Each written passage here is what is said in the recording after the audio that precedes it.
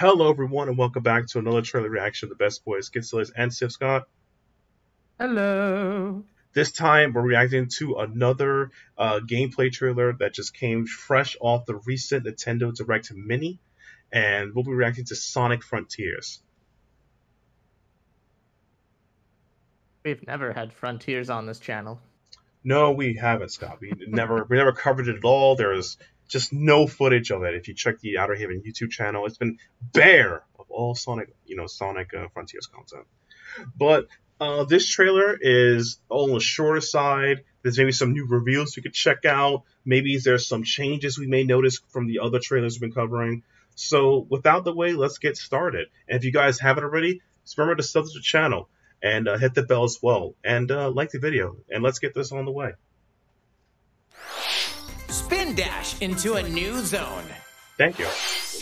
Sonic's latest action adventure kicks off on the vibrant Starfall Islands, home Okay. to a mysterious civilization. Here, you can freely dash through a vast open zone, That's taking cool. full advantage of Sonic's that speed Eggman and logo? skills. Look at the Eggman. Yeah, looks like it. Oh, snap. It's crazy. Lock on and attack enemies standing in your way. Chain together attacks to trigger combos and rack up damage. That's cool. That With good timing, you can even Oh, the new deflect enemy type on top. oh, nice. Acquire skills to bolster Sonic's attack. arsenal of moves. Okay. It seems like they managed to put the uh, the action pieces together. You can also enter a Yeah. special zone called cyberspace. Whoa. Take on challenges at supersonic speeds and Wow, grab this keys is to pretty crazy.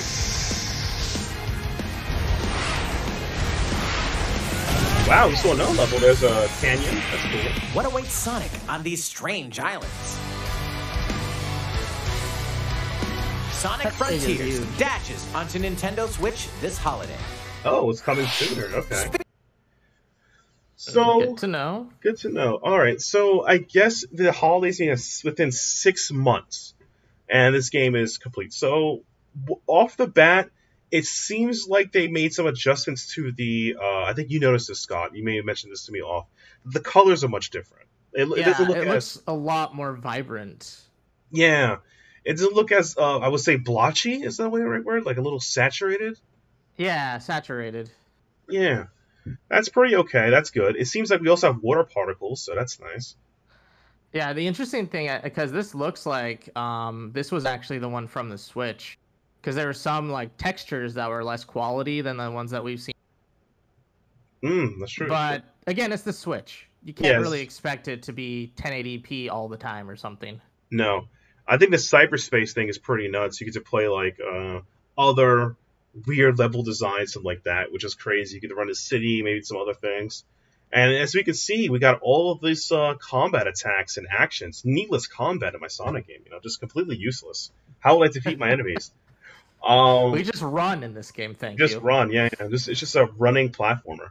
I think though this is looking more like, but I guess by the next official trailer or gameplay video, it'll look a little more polished.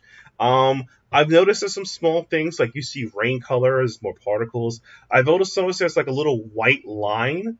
Maybe it's just uh, that when you, you fight the enemies, maybe there's like an auto lock on for you, something small like that, instead of seeing some blocky type of lock on. You know?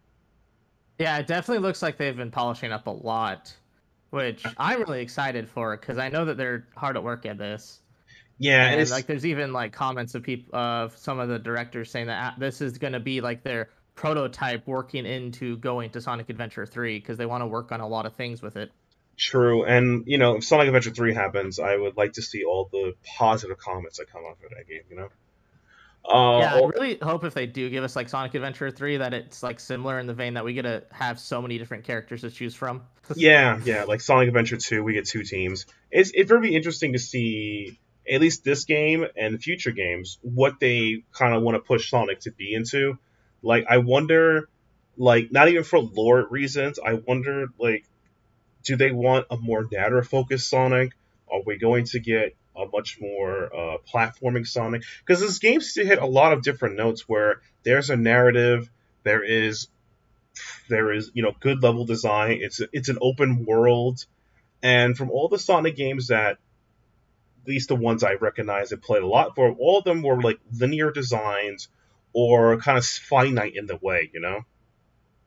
I think that that you bring up is actually interesting because when you go back to like I guess the first three Sonics, sure there was like you're going forward, but there's multiple paths to go to that location. Right.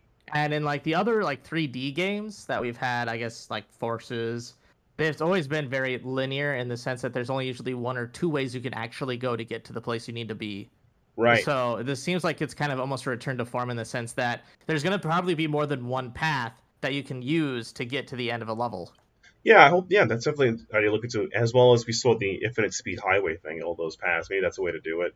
It looks pretty. It looks pretty cool, and I wonder if they'll incorporate the multi-level how to solve certain levels in the game, like from uh, getting the keys or it's traversing. I'm looking, like I said, this game. I have a lot of high hope to see what they're getting because each time I see it, it looks a little bit better. It looks a little more defined. This is something I'm keeping in my back pocket, but I'd like to see more. I'm looking to see more for it when uh, when Sega drops information on this. One hundred percent. I'm really hoping that this can succeed. Yeah, um, and I hope and it needs a it needs a kick ass uh, rock song. You know, um, you know, let's go for the Sonic. Sonic, he can really. Can we at least get a Crush Forty cameo? Um, yeah, you, will see a can of Crush Forty, and like Sonic, no, dang it. yeah, yep, and I guess that's that. And I guess there's nothing more to really add to it except that Sonic attack animations look really nice. I, I like how they look. It looks a lot faster too in his battle mechanics. Yeah, definitely. And without the way, uh, we'll see you guys in the next one. Be sure to subscribe to the channel. Uh, hit the bell as well. Be notified next time we go live with content. Like the video. What is your favorite Sonic game that you have played in recent memories? Do you like the linearity of some level design Sonic? What type of Sonic levels you enjoy the most? What are you looking forward to uh, Sonic Frontiers? Let us know in the comments below. And uh, if you haven't already, be sure to follow us on our social medias in the description box. You hit the Linktree, you will find our Twitters, Twitch, and other things we work on. This is Getselious and SithScott signing out. We'll see you guys in the next one. See ya.